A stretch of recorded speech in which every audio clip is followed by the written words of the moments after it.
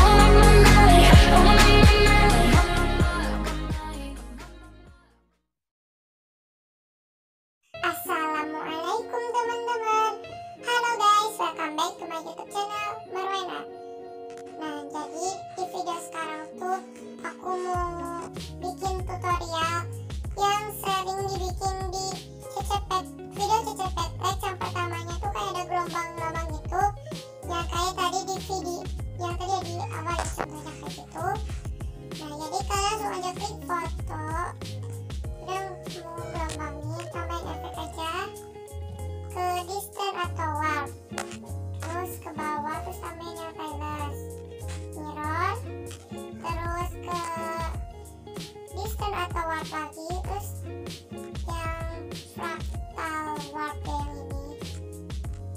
Nah jadi magnitude itu aku sering pakainya misalnya 0,50 nah langsung aja kalian klik position tambah tambah position tambah mau kalian gimana misalnya aku sampai